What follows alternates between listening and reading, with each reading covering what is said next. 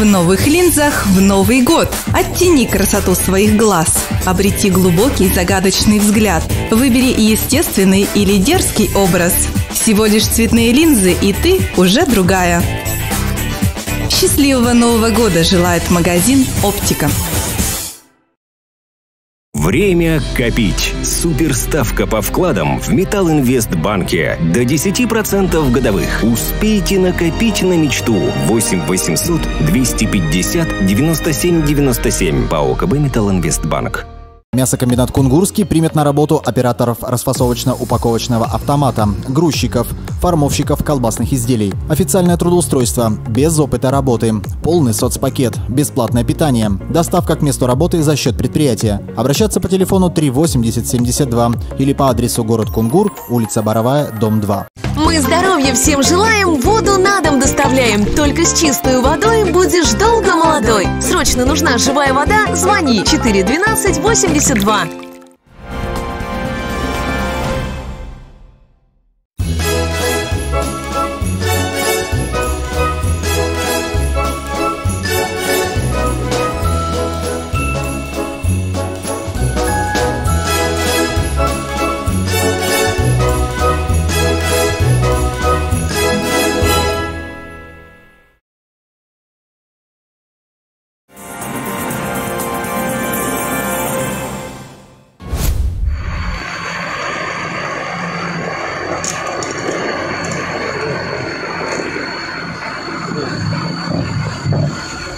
Новогодний подарок для защитников Отечества, служивших в морфлоте, доставлен в наш город прямиком из Кронштадта. В Кунгур привезли настоящий символ моряков – якорь Матросова. Идея создать мемориал для всех моряков, проживающих в Кунгурском муниципальном округе, существовала давно. Глава территории Вадим Лысанов и первый заместитель Олег Лихачев нашли договоренность с руководством города Порта и получили благословление из Кронштадтского храма. Якорь этот привезли мы из Кронштадта вместе с главой Кунгурского муниципального округа Лысановым Вадимом Ивановичем – настоятель морского храма в Кронштадте, отец Алексий, дал благословение. Наконец-то этот якорь поступил в Кунгур. И теперь у нас есть идея, чтобы сделать некий мемориал в память э, погибшим и служившим морякам и матросам России и Советского Союза. От чего он может быть? От какого водоизмещения? Ну, типа эсминца, что-нибудь такого вот, сторожевик, не больше, полторы тонны. У крейсера где-то 3 тонны якорь уже. Ценный груз весом в полторы тонны доставили для выгрузки на территорию водоканала. Отсюда его направят на очистку и окраску. В наступающем году в Кунгуре появится место силы для моряков.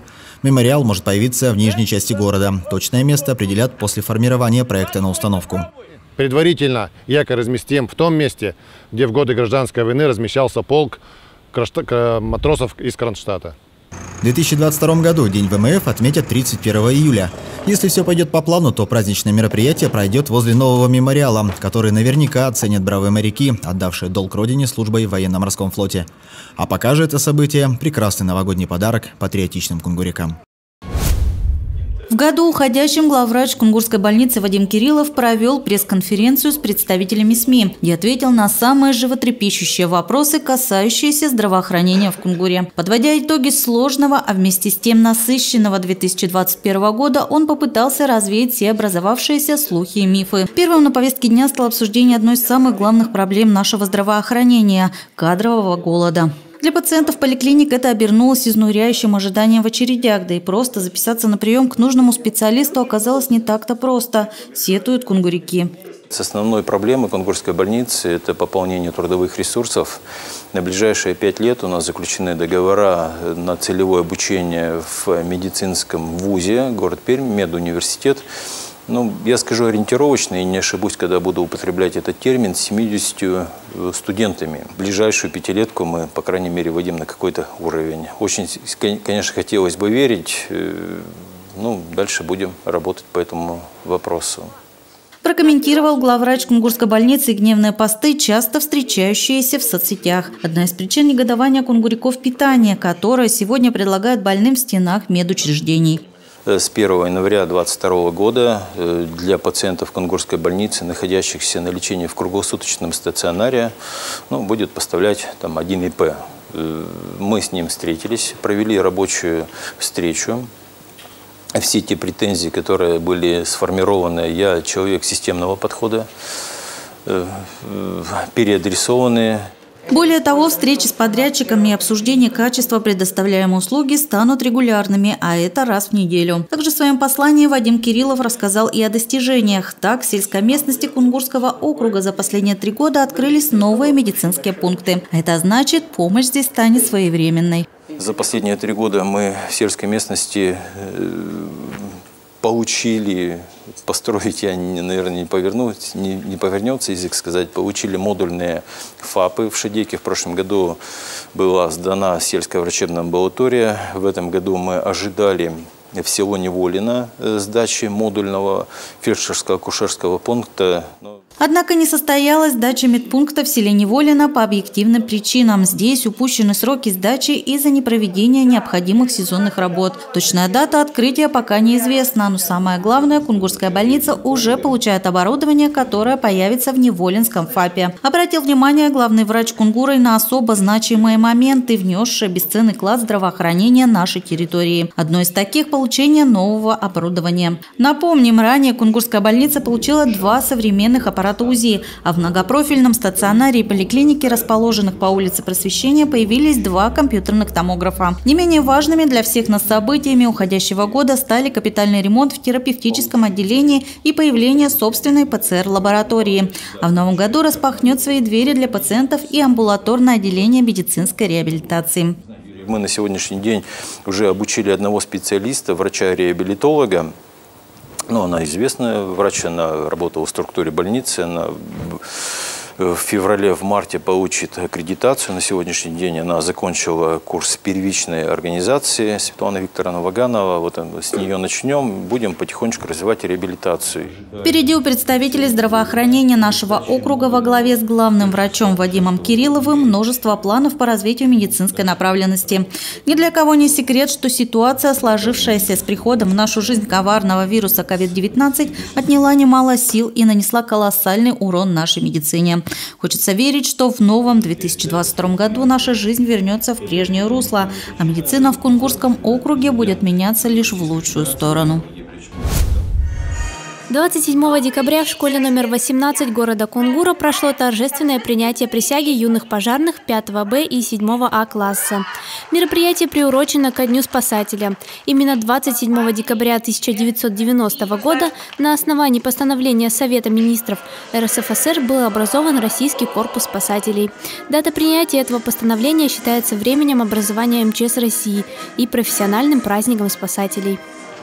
Товарищ директор, Учащиеся 5 Б класса в количестве 25 человек для проведения торжественного мероприятия посвящения в юные друзья МЧС построены. Командир. Командир Чистых Владимир. Вольно. На посвящении присутствовали почетные гости, которые сказали напутственные слова и пожелали ребятам нести этот долг с честью.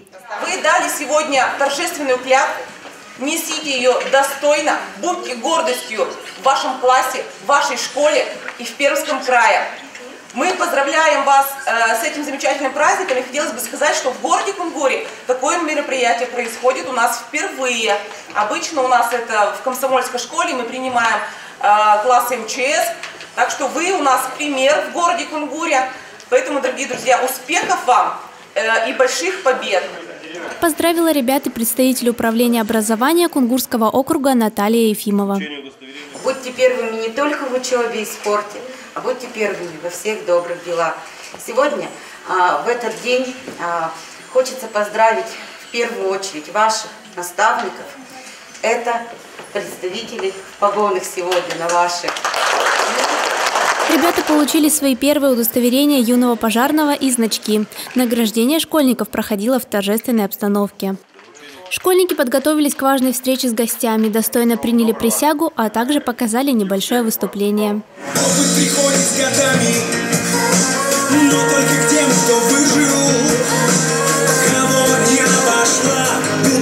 Стороной.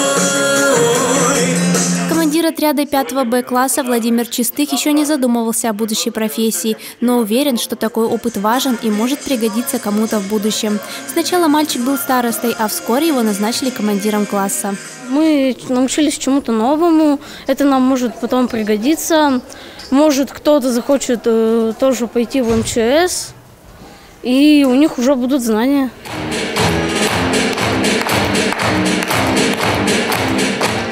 Звонко и громко в Комсомольском встречают юных кадетов. Здесь появился еще один класс МЧС. Это движение существует в школе уже несколько лет. За все время старшие кадеты добились немало успехов. Пополняют копилку успехов и новобранцы, ученики 5 А-класса. По случаю вступления школьников в ряды ДЮБ устроили настоящий праздник. После приветственных слов и открытия церемонии ребята продемонстрировали гостям строевую подготовку. Кругом. Напряг. Во. Напряг. Во. Строй шагом. Марш.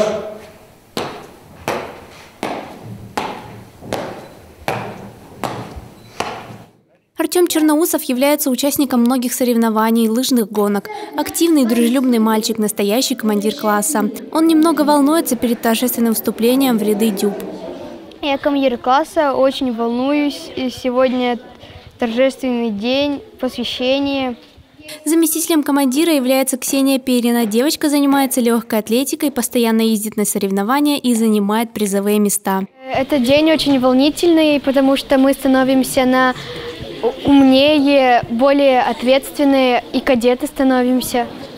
Слова напутствия воспитанникам сказали представители руководства школы. Им пожелали удачи и новых свершений, а также поблагодарили родителей за воспитание таких замечательных ребят. Сегодня у нас торжественное традиционное мероприятие. Вы наш шестой набор. Я думаю, что вы с честью и с достоинством пронесете такое громкое, гордое название «Кадет». Вы сегодня готовились к этому мероприятию, пришли нарядные, красивые. Э, нам сегодня покажете, на что вы способны, и думаю, все у вас в вашей жизни получится. Ребята ответственно отнеслись к подготовке. На время кадеты надели боевую одежку пожарного. Брюки, бушлат, ремень и каску. Спортивный норматив 21 секунда. Наши герои стремятся к этому блестящему результату. Хоть бойцовки ребятами велики, они все же отлично справляются с задачей. Справившись с заданиями, юные спасатели исполнили песню «Служить России» дружно, хором, как одно целое, ведь ребятам уже известно, что результат зависит от команды. Волки идут спиной, красиво держит строй,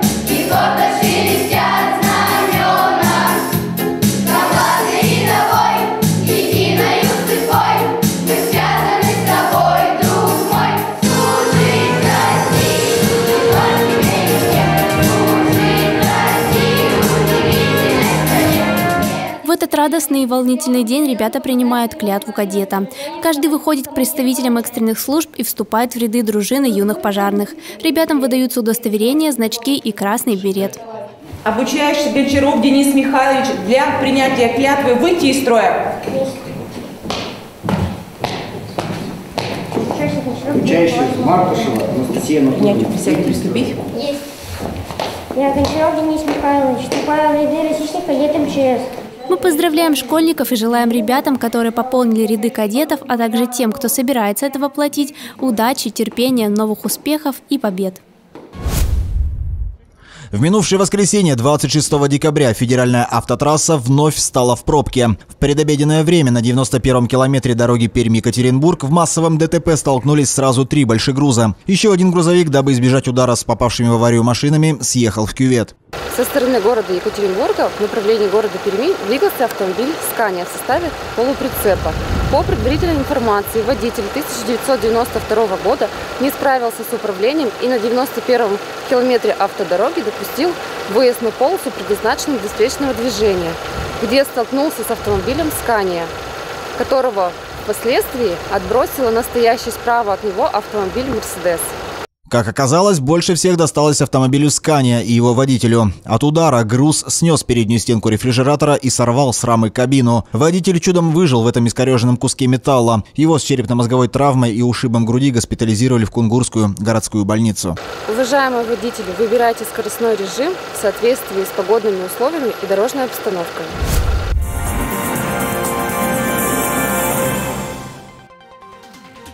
По традиции к Новому году комиссия по делам несовершеннолетних и защите их прав Кунгурского муниципального округа ежегодно объявляет акцию «Подари ребенку радость». Благодаря данной акции в 2021 году более 155 детей, которые оказались в трудной жизненной ситуации, получили сладкие подарки к этому замечательному семейному празднику. Комиссия по делам несовершеннолетних и защите их прав и администрация округа выражают искреннюю искреннюю благодарность Пермской региональной общественной организации «Я помогаю детям», жительнице Кунгура Екатерине Гомзиковой, а также педагогическому коллективу и обучающимся Кунгурского центра образования номер один за оказанную помощь и неравнодушное отношение к семьям и детям, которые оказались в трудной жизненной ситуации, сообщает пресс-служба администрации округа.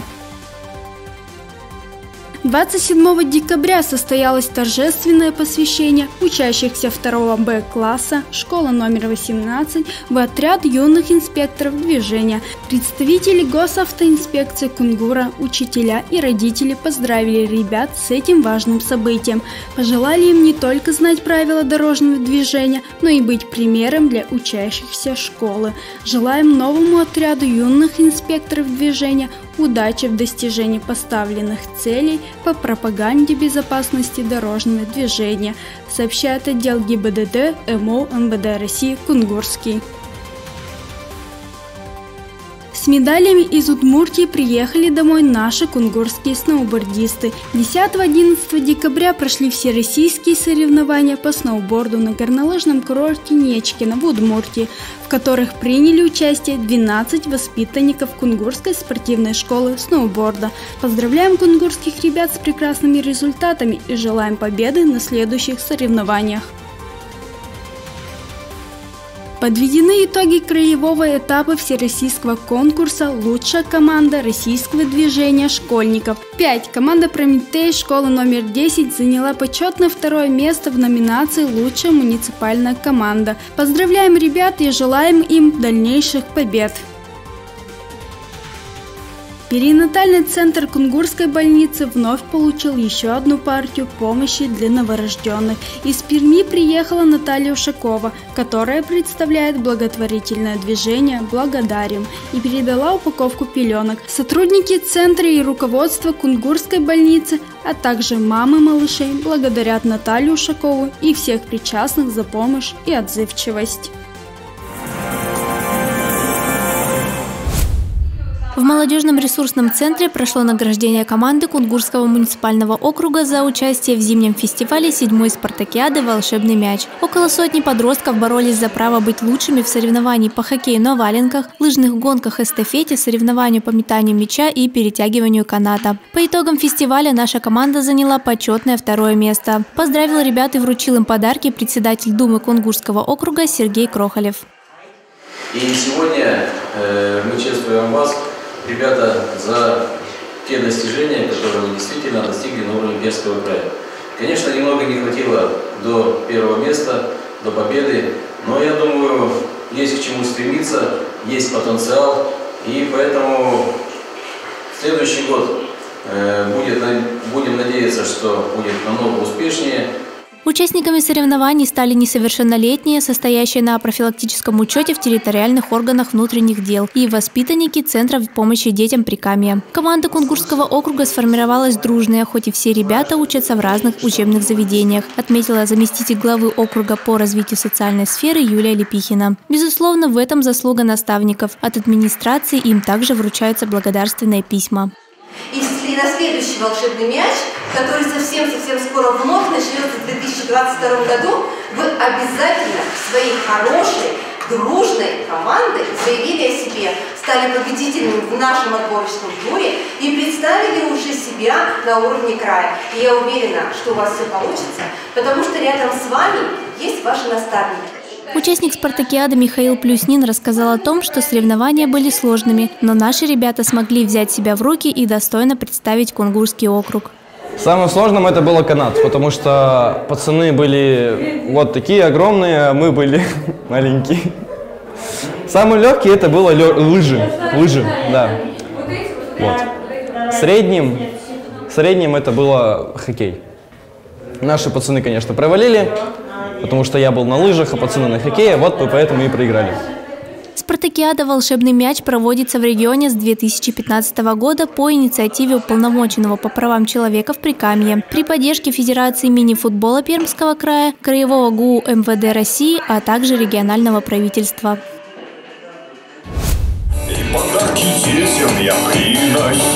Нарядная елка, веселый праздник, яркие новогодние огни и, конечно, подарки. Всего этого сегодня в достатке. На новогоднем утреннике в противотуберкулезном санатории «Рень» в Неволино собрались и взрослые дети. Не пропускает праздник с 1996 года Татьяна Михайловна Высоцкая. Не изменяя традиции, почетный гражданин Кунгура здесь и в этот раз.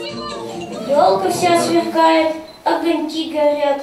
Новый год сегодня радует ребят. Закружился яркий, дружный хоровод. Наступает главный праздник Новый год. Татьяна Михайловна уже 25 лет помогает санаторию «Рень» в приобретении оборудования, игрушек для детей, развивающих игр и интересных книг. За многолетнюю дружбу почетному гражданину Кунгура руководство санатория вручает благодарственное письмо. Не остается в долгу и гости. Татьяна Высоцкая всегда приходит на праздник с подарками. Новый год – это семейный праздник, и я очень рада, что вы все сейчас на Новый год поедете домой. Хочется пожелать вам в этом году счастья, уюта, и чтобы у вас, у всех в жизни исполнились все ваши желания. С Новым годом! Сладкие призы, мягкие игрушки и набор для творчества вручает ребятам Татьяна Высоцкая. Для детей это по-настоящему радостный день, ведь совсем скоро они отправятся на зимние каникулы домой, к семье и близким. Атмосфера новогоднего чуда и исполнения желаний поднимает настроение еще больше. И на будущее хотелось бы пожелать, чтобы санаторий жил, чтобы он оставался в полон смехом, полон эмоций детей, чтобы он жил, функционировал. Здесь замечательные педагоги, замечательный коллектив, как Татьяна Михайловна сказала, и они не просто э, работают, они вкладывают в душу в детей. Вот поэтому хотелось бы пожелать, чтобы Татьяне Михайловне дал Бог здоровья, я знаю, что верующий человек, и чтобы таких спонсоров было, конечно, больше. Я очень счастлива, что сегодня в очередной раз я побывала на елочке в санатории Рень. Для меня санаторий за эти годы он практически стал родным. Здесь очень хорошие дети. Они, когда ты заходишь, они тебя вдохновляют. Ты смотришь на них как они улыбаются, и тебе хочется улыбаться. Я очень счастлива, что я сегодня поздравила этих детей с наступающим 2022 годом. Праздник удался на славу. Ребята загадали свои самые заветные желания, повеселились от души и получили новогодние подарки. И все это за один день. В преддверии Нового года по-другому и быть не может. Наслаждаться праздником и верить в чудеса нужно уже сейчас. Совсем недавно стартовал 11-й рождественский благотворительный марафон «Подари надежду». В этом году он поможет Косте Доронину, четырехлетнему жителю Кунгура, страдающему тяжелым заболеванием ДЦП. Мальчику необходимо особое ортопедическое оборудование, на приобретение которого требуется 70 тысяч рублей. Чтобы помочь Косте, в библиотеке села Филипповка для детей был организован благотворительный показ фильма. Мы очень рады, что принимаем участие в таком мероприятии. Это очень нужное, полезное дело. И мы стараемся с детства детям прививать такие чувства, как сочувствие, доброта, чтобы они могли сопереживать, э, понимать э, и принимать участие в чужой беде, чтобы не оставляли людей в тяжелых ситуациях В преддверии праздника совершили новогоднее чудо и в художественном музее города Кунгур. Школьникам провели увлекательную экскурсию. Ребята также посмотрели фильм, тем самым приняли участие в благотворительном марафоне и помогли семье Кости Доронина приблизиться к заветной мечте. Александра Невского назвали э, из-за того, что Александр в переводе «защитник Руси». А Невский ему потому, что состоялась битва на реке Неве. У него, его отца отравили, и он умер. А умер он из-за болезни. Он провел 20 боев и был святой защитник Руси. Помочь четырехлетнему Косте может любой желающий. До 17 января 2022 года в городе будут проходить детские киносеансы, аукционы, выставки и рождественские ярмарки. Все собранные средства с подобных мероприятий будут аккумулироваться в храме Тихвинской иконы Божьей Матери города Кунгура. Свои пожертвования здесь может оставить каждый желающий. Мы просим вас не остаться в стороне и помочь маленькому мальчику обрести надежду на выздоровление. Смех, радость и веселье – главные спутники всех новогодних утренников, которые с размахом проходят в учреждениях нашего округа. Нарядная елочка-красавица, главный волшебник Дед Мороз со своей внучкой Снегурочкой и веселый снеговик неустанно поздравляют детишек накануне главного зимнего праздника. Иду! Вот и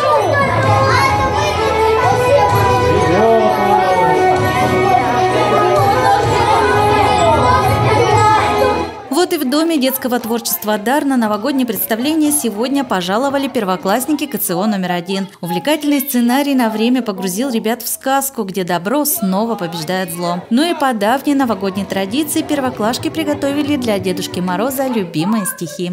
Спел песенку про елочку, поди он коловод. Какой же же классный праздник Новый год. Несмотря на то, что праздник ждут все, представления в ДДТ «Дар» проходят с соблюдением всех санитарных норм. Прийти в гости к елочке здесь можно только небольшой группой. Но, несомненно, веселое времяпровождение обеспечено каждому.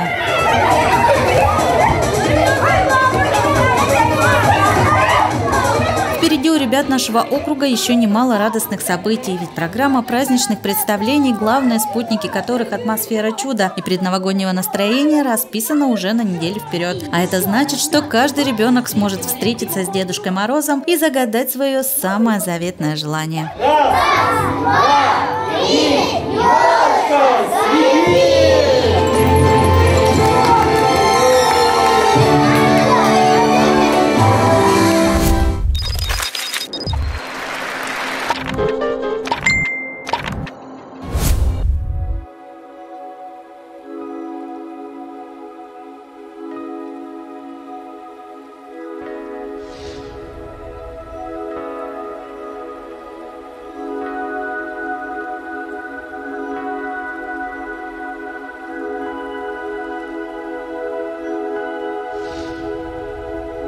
Четырнадцать регионов Приволжского федерального округа в одной мелодии, которую написала сама природа. Смотрите и слушайте с 27 декабря.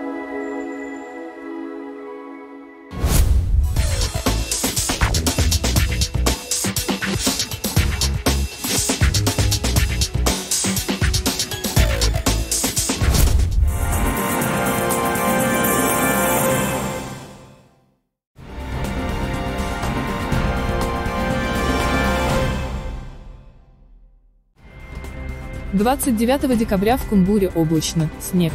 Температура воздуха ночью минус 21, днем минус 16. Атмосферное давление 760 мм ртутного столба. Ветер юго-западный 4 метра в секунду.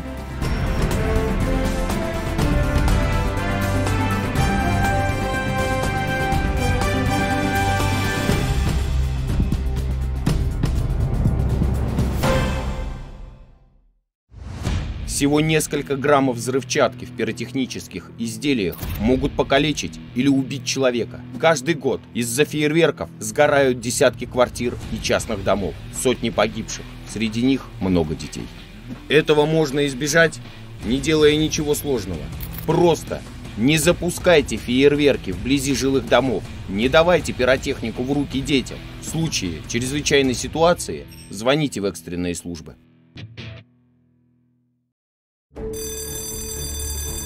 Обнаружив бесхозный предмет, оставленную коробку или сумку, ни в коем случае не трогайте и не перемещайте ее. Как можно скорее сообщите об этом учителю, который по инструкции должен сообщить о подозрительной находке охраннику школы, а он, в свою очередь, обязан зафиксировать точное время обнаружения и данные лиц его обнаруживших, а также сообщить руководству образовательной организации и в экстренные службы, нажав кнопку тревожной сигнализации. Примите меры по эвакуации учащихся. Ограничьте доступ к подозрительному предмету. Выводите детей других классов иными путями эвакуации, обходя опасный участок. Обращайте внимание на подозрительных людей и любые странные мелочи. Будьте внимательны. Лучше всего держаться подальше и сообщить взрослым. Охранник учебного заведения обязан сообщить оперативным службам о подозрительных личностях –